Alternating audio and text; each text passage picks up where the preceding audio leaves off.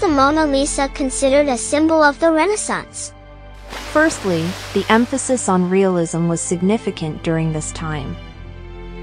Artists aimed to create works that were true to life, and the Mona Lisa is considered a prime example of this approach, as it depicts Lisa Gherardini in a realistic manner, complete with a gentle enigmatic smile.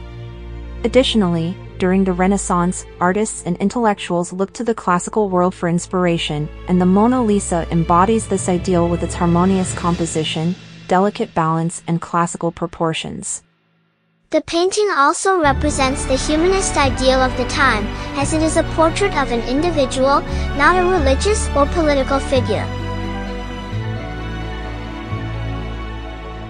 This emphasis on technical skill was a characteristic of Renaissance art.